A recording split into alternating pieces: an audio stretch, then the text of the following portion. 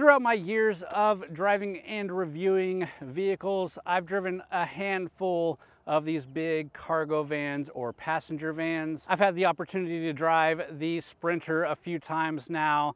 I've driven the Metris also. I've driven the Ford Transit. I've driven the Ram ProMaster. And I'm always wondering why they give these things to me to review. But nonetheless, I like the challenge. And of course, they're super popular, none more than the Sprinter for things like van life, for small businesses. So I'm definitely excited to get you guys a good review on this 2500 Sprinter. Let's get into it. All right, before we dive into this one specifically, there are a ton of different ways to configure a Sprinter. You've got almost infinite options here. So first you have a few options with the iconic Sprinter. You have what we have here, which is the cargo van. You have what's called the crew van. You can get it optioned as a passenger van. And then of course you can get the cab chassis, which just has the cab and an empty chassis. Like I said, we have the cargo van here, which then comes in a few different options including a 144 inch wheelbase with the short roof, 144 inch wheelbase with the tall roof, 170 inch wheelbase with that high roof, or a 170 inch wheelbase extended with the high roof. This is the 170 inch wheelbase with the high roof. It's not the extended, so this thing can get even bigger. And then of course, once you pick your wheelbase, you're offered even more options, including the 2500,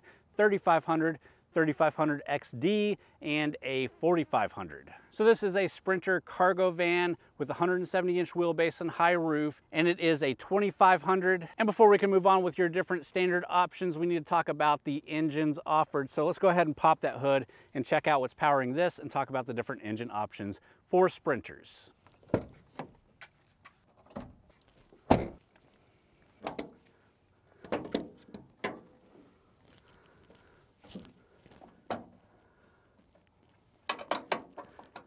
All right, so once you're finished picking out your wheelbase and the class that you're getting, you're gonna have to pick out an engine option. There are three. Your base option is a four cylinder gas engine, which is what we had in the last Sprinter I drove. Then you have a four cylinder diesel engine and a six cylinder diesel engine, which is what we have here. This is a three liter V6 turbo diesel. It pushes 188 horsepower, 325 foot-pounds of torque, is rear-wheel drive, which you can option up to a 4x4, and we've got a seven speed automatic transmission. Now this is the premium engine option, but if I was jumping into a Sprinter, this is definitely the option that I would get. That turbo diesel is gonna be more fuel efficient, but also has plenty of power to pull around this big old thing, even when it's loaded down with weight. Speaking of weight, your payload capacity is 3,737 pounds in this specific configuration. Your max towing here is 5,000 pounds. And before we jump inside and take a look at the cargo volume in the back and the interior of this vehicle, let's go ahead and walk around and check out some of the exterior features. And the first thing to talk about is this thing is just a big vehicle. I'll talk more about the actual size in just a second, but it is actually even difficult to get it all in frame on the camera. But obviously we're managing. The paint here is called Brilliant Blue and it is a optional extra. It is a premium paint that you're gonna pay extra for. I like it. It really makes this big vehicle stand out even more, but I would think that the majority of these sold are either gonna be solid white or solid black, which makes a lot more sense. We do have those black plastic bumper cover and your plastic black that goes along the edge. That's gonna help from paint chipping or scratching and make this more of a rugged vehicle. Got the big chrome Mercedes logo up front. You can option up to a chrome grille but I don't think you need it in one of these things unless you're just trying to be flashy. We don't have fancy LED headlights in this vehicle either. They're adequate, but it would be nice to have some nice, brighter, better LED headlights here. You can see that big antenna sticking up over the forehead of this van. Along the side, we do have folding side mirrors. So the side mirrors really aren't that big. From the inside, they're actually a bit difficult to see around the vehicle but it is a dual stacked side mirror and they can power fold with a button inside. So when you park it, if you just want that extra safety that nobody's gonna clip your side mirror, you can fold those in. Our wheels are 16 inch steel wheels. And those steel wheels are wrapped in 245 75 R16 all season Michelin tires.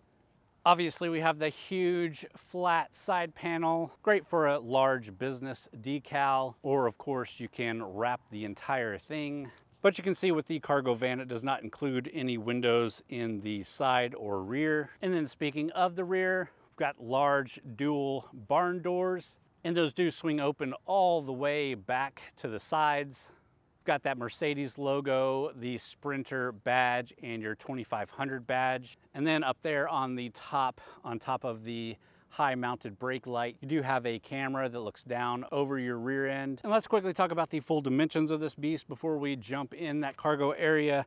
So your overall height is 107 inches. The full length of this one is 274 inches. The width from one mirror to the other is 92 inches. And your full wheelbase, of course, is at 170 inches.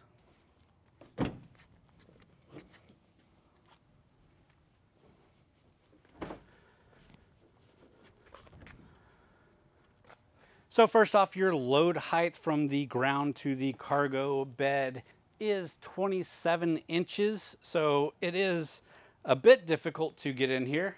This one is equipped with the trailering hitch, which allows you to uh, put your foot right there and get in a little bit easier. But as you can see, this is basically a fully empty, non-decked out cargo area. We do have the paneling on the floor as well as some paneling equipped on the wall already. We do have a cab separator that separates the cab from the bed with a window. And while that's not great if you want to be going from the cab to the cargo area without having to come out of the vehicle, it definitely helps with cooling the cab so you don't have to cool this big empty space. We do also have the side sliding door, which has a lower step in than the back cargo area.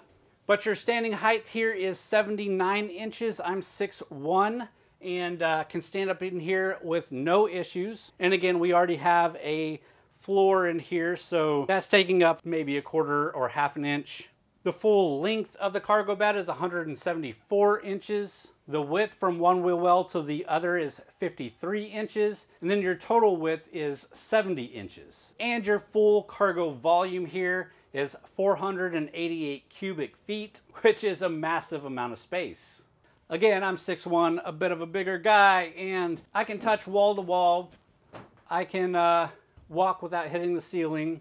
The cargo area is also already equipped with LED lighting. Whether you're wanting to put tools in here for your job or equipment for another job or trying to turn this thing into a living space for a van life, this has a great amount of space.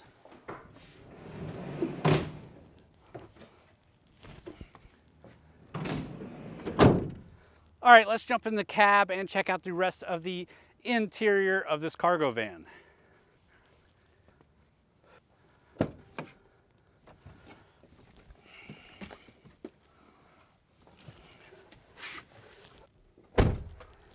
All right, guys, so as you can see, just like it's tall and hard to get into the back, it is tall and difficult to get into the front. It is a lower step in, obviously, but uh, still a pretty big vehicle, and you've got to really pull yourself in. Again, I'm 6'1", and even for me, it's a bit difficult to get into this thing. It's also uh, a pretty tight fit in the cabin, especially with this wall. The seat backs are literally on the wall. We do have black leatherette seating, which is nice.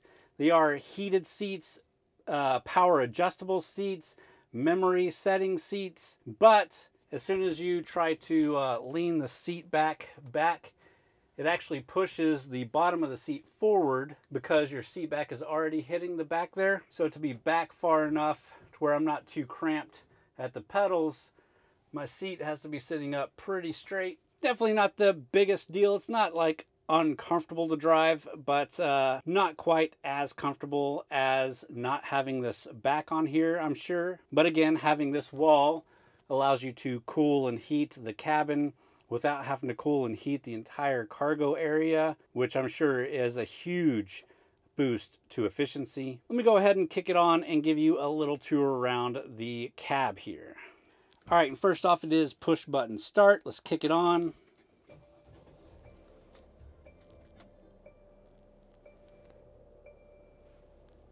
You can probably hear that diesel engine start up. It's not terribly loud, but uh, you can definitely hear it. We do have a 7-inch touchscreen display with Mercedes MBUX multimedia system. Not a huge display. They do make one a bit bigger, but not too much bigger. But it's pretty adequate for what you're going to be doing in this thing. We do have the full 360 camera system, a nice backup camera with good guidelines here. It even shows you how wide out the front end is going to turn, which is very helpful in this big old thing. Of course, you can get better views of different cameras here, including a hitch camera. We do have built-in navigation.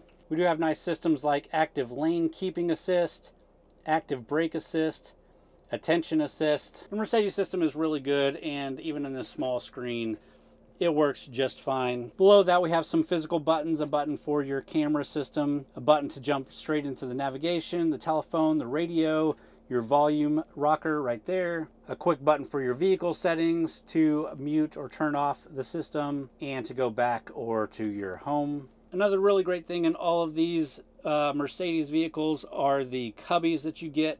You've got a ton of different cubbies that can hold a ton of different things. So You've got something right here that's great for like a cell phone or something small. We've got different size cup holders right here. We've got a kind of open glove box over here. We've got cubbies on the roof and you've got big cubbies in the doors. We also have cubbies up here on the dash with some more cup holders and just cubby areas. We also have USB ports way up here, two USB type C ports including one that will interface with the infotainment system. So all that is right up here on the dash, which if you're throwing your phone up there or something, is going to get hot from the windshield or you're going to have a cord running up and around. Lots of storage, which is great for a vehicle that you're going to spend a lot of time in. A little further down from the infotainment system is your AC and heat controls, all physical buttons here. And I can tell you that the AC definitely works good even in hot summer days here in Texas, even with these large windows. Moving on to the steering wheel, we do have all the Mercedes controls on the steering wheel. So you can control the uh, system over here or you can control your driver information system. You've got paddles on the back for paddle shifting through your gears. You've got some standard buttons to the left of the steering wheel including your electronic parking brake and your automatic headlights. Coming back to the driver information display, you've got two analog gauges here and then that digital display that can be flipped through to show different information. Next, we do have a rear view mirror. Not even sure why. It's actually kind of distracting because it reflects from the back windshield here. So you actually see the road from the front reflected into this thing. It would be great if it had one of those flip around things where you can see the rear view camera out of this thing. But if they offer that, this one is not equipped with it. So again, it's a big vehicle, a little bit cramped quarters up here, but nice tech overall. Let's go ahead and get this thing out on the road and talk about the drive. All right, guys, let's get this thing out on the road. We'll start off with a pretty tight back road over here to show you that this has no problem handling tight back roads. Again, that V6 turbo diesel puts out plenty of power to move this thing. Definitely audible, but uh, plenty of power. Brakes are good.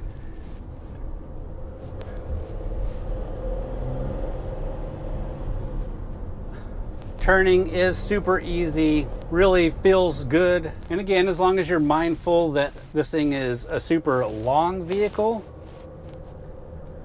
navigating parking lots or tight roads really isn't that big of a deal. super easy to drive and maneuver. Back when we tested out the uh, Ram ProMaster, we actually had it at an event where we went and picked up um, pallets of feed and then drove those back to a ranch. And we had to go through city streets.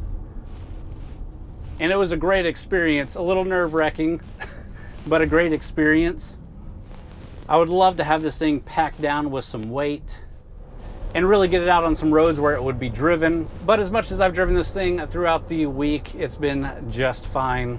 I even dropped the kids off at school with it, obviously one by one because it's only a two passenger. This actually comes in a three passenger setup, but this one does not have the middle seat, so it's only a two passenger setup. But it does have a 24.5 gallon fuel tank. So filling this up not only is going to be expensive, but it's going to give you over 400 miles of range, which is great for a big vehicle like this. And of course, like I said, you do have a lot of safety features like the lane keeping assist. We have blind spot monitoring. You have radars all around this thing, so as you get close to things in a parking lot or whatever, it will beep and let you know. So again, as long as you keep in mind of what you're driving, it's really not that difficult to maneuver in a parking lot or in other tight spaces. It is difficult to judge speed if you're not used to driving a vehicle like this.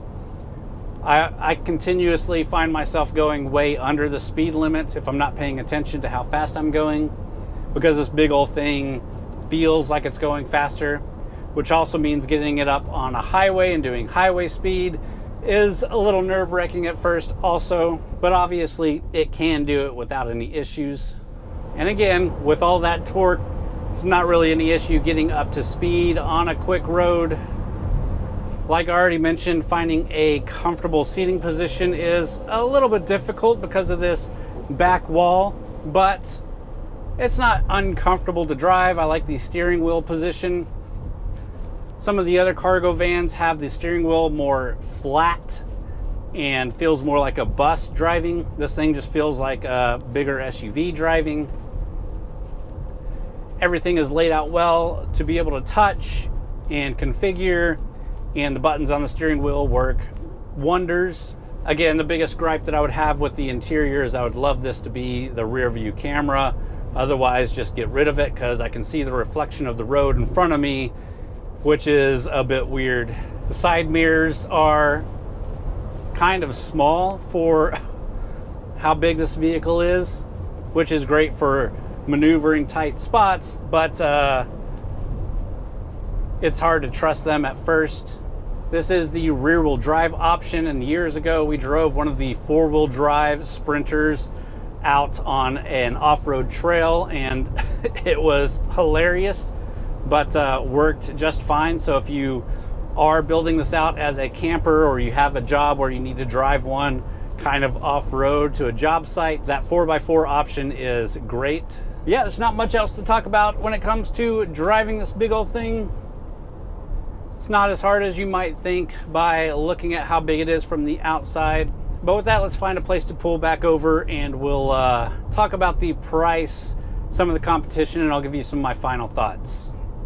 All right, guys, before we wrap up this video, let's quickly talk about pricing and maybe a little bit of competition, and I'll give you some of my final thoughts. Now, the Sprinter, again, has a wide range of options that start out at just around $38,000 and can be specced up way up to 70,000 or more depending on what all you're getting. And that's not including packing it with whatever you're going to be building back here. That's just for the truck itself. Our 170 inch wheelbase 2500 has a base price of $48,110 when you add all the little options that we have in this vehicle it has an MSRP of just south of $60,000 which isn't terrible, but definitely if you're doing a build out of this thing, you want to get one as cheap as possible. So probably some of the options in this aren't going to be what you're going to put in your vehicle, or maybe it is. Let's jump out, talk about the competition and some of my final thoughts, and we'll wrap this thing up. All right, guys, and after a full week of driving the Sprinter cargo van, it's, uh, it's a bit of an experience. It's definitely not something I would recommend if you're not needing this big of a van. If you can get away with running your business with a smaller cargo van. The 2500, not only is it big, but it's tall. Jumping in and out of it through the whole week has uh, got my hip hurting a bit. That being said, if you uh, need a van this big or you're building out like a, a van life van, again, be mindful that you've got to get in and out of this thing multiple times a day for a while. I'm sure there's a lot of aftermarket stuff that can help with uh, side steps and things like that. I think that would definitely help. But being able to stand up in the van, being able to have room from side to side is great. Being able to have the full length is great. And really, like I said, driving this thing does not feel like you're driving such a massive vehicle. It's really easy to maneuver in tight spaces. You just have to be mindful of the length of the van and you'll be fine. And it's really hard to justify or not justify this for somebody. You're definitely gonna be buying this for a purpose. Like I keep saying, if you've got a business that needs it, you've got to build that you really want this size of a van. I think it's a great option comparing it to the other big cargo vans out there. I really like the way that this one drives. The Transit drives really well as well, but the Sprinter is definitely kind of the gold standard as it comes to cargo vans. The only one that I haven't driven that I really want to is the Nissan, but hopefully we'll get that at some point. And hopefully you enjoyed this video. If you did, please hit that thumbs up button. Leave me a comment down below. Let me know what you think about the Sprinter. Again, let me know what you'd consider getting this for. Is it a van life build? Is it a business that you're running? And if you own one for your business or van life, let me know what you think about it down in the comments. Of course, if I didn't answer something that you would like to know, leave it down in the comments and I'll try to answer that after the fact. Subscribe to the channel if you're not already. We do a different review every week if you're into automotive reviews. And again, we really like getting these cargo vans we've gotten quite a few over the years. So if you wanna go back and check out some of those, I'll leave some links down in the description. Also, if you're new, go check out txgarage.com where we've got a lot of other written reviews as well as event and news coverage over there from a lot of great authors. And with that, guys, that's it. Thanks for watching. Let's see, if I was building this out, it would be kind of a mobile studio. I would probably have a rack of equipment on this side and kind of a desk over here on this side. Maybe a monitor kind of mounted to the wall if we could, if you could pull that off. Definitely would need some insulation and lighting. Maybe a bit better lighting than these LEDs in here if you're gonna do any kind of video in here, maybe a better kind of backdrop, but definitely some uh, sound deadening because this thing echoes a lot if you're gonna do any kind of uh, audio quality stuff in here.